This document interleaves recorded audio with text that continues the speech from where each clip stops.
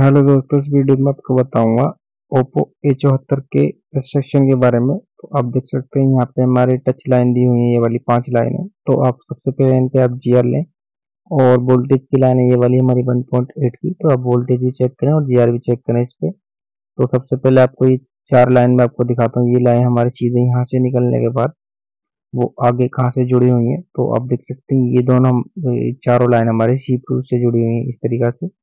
तो आपका कोई भी ट्रैक मशीन शॉर्ट आए तो आपको सीपीयू को ही चेक करना पड़ेगा। तो ये हमारी वन पॉइंट एट की लाइन तो ये लाइन हमारी इस आईसी से जुड़ी है। आपका मशीन हो, ये शॉर्ट हो तो उस आईसी को चेक करें। Thank you